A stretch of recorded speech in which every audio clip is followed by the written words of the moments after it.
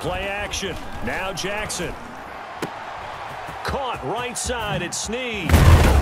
And he is tackled inside the 40, not quite to the 35. Give him back-to-back -back catches now. That one for 16 and another first down.